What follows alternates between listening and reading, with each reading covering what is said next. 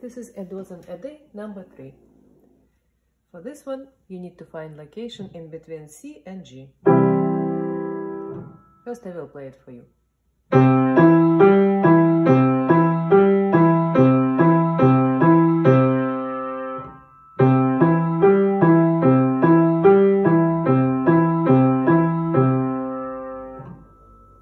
So if you notice now we don't play fingers one after another, but we play through one finger.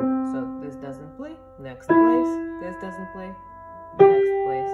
So we always play through the note, so these notes will not be played, and through the finger.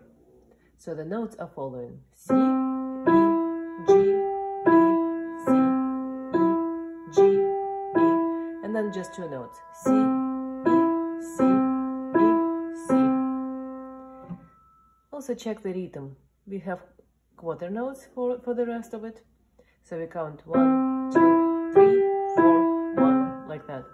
And we have whole note at the end. So make sure to have the entire length like this. One, two, three, four. The last note is the whole note.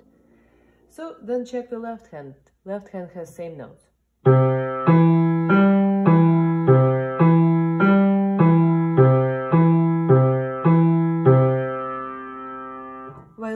This, make sure you are not dropping hand position like that. Or playing on the edge.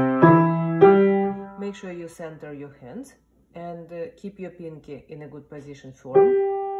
And uh, your first finger on the fingertip, not on the joint. Like this. So when you will be playing fifth finger and first finger, just keep an eye on your hand position. Not laying. And not waving much. Mostly marching by fingers, not uh, waving by wrist, like this.